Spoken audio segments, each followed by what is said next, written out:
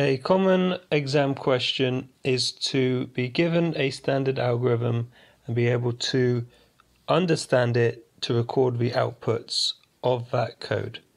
So here on the left hand side is a simple piece of pseudocode and we are going to go through this line by line to understand what the outputs of this program would be.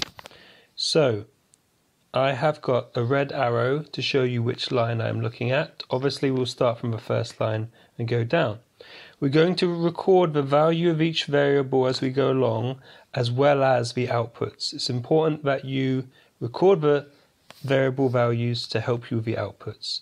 So the first line is a is integer.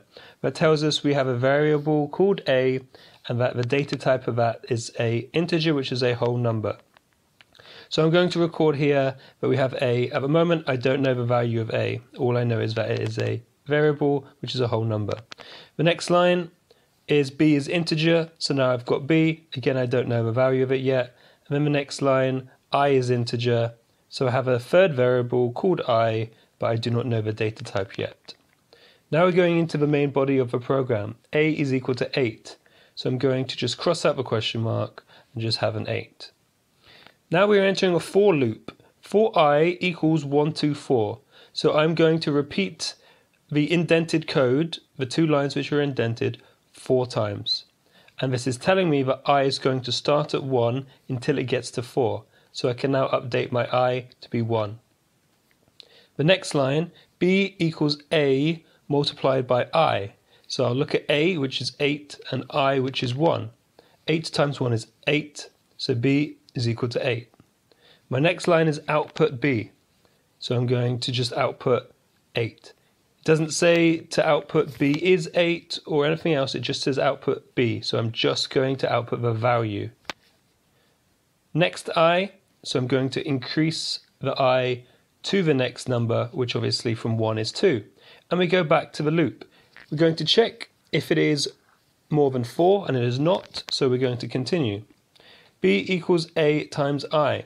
So a is 8, i is 2, 8 times 2 is 16. So b is now 16, and I'm outputting that value, 16. Next i means to increase from 2 to 3 for i. Go back to the loop. We're still within our limit of 1 to 4, so we'll continue. a times i, 8 times 3 is 24, which is the new value of b.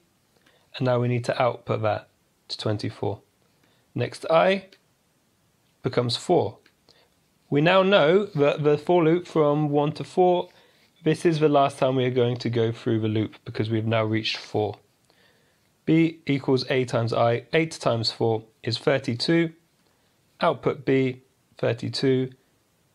Now we're moving on to the final line because the for loop is no longer true, is no longer between 1 to 4 if we were to increase the i to 5.